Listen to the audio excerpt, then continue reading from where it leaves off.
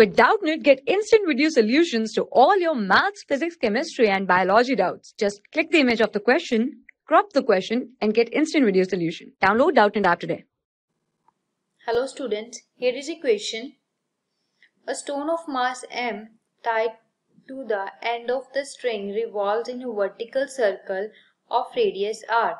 The net force is at the lowest and the highest point of the circle directly vertically downwards are lowest point, highest point, T1 and V1 denotes the tension and the speed of speed at the lowest point, T2 and V2 denotes the corresponding value at the highest point.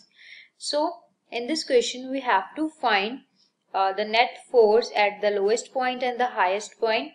So uh, to understand it, first of all let assume there is a string and here is a, a, stone of mass m tied to the end of the string and it revolves in a vertical circle of radius r. Like uh, we assume and uh, we uh, we have to calculate the net force at this point or at this point. Now in this case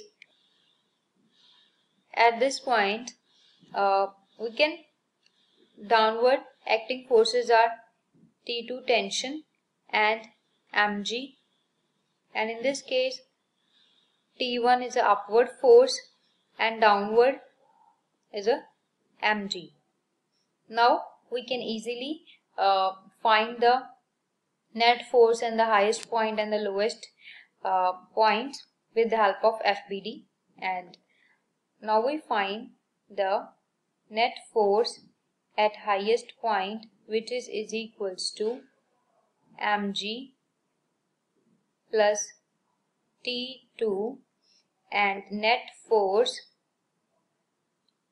at the lowest point that is mg minus T1.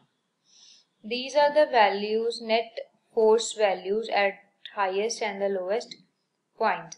I hope you understand the explanation. Thank you. For class 6 to 12, IIT JEE and NEET level. Trusted by more than 5 crore students. Download Doubtnut app today.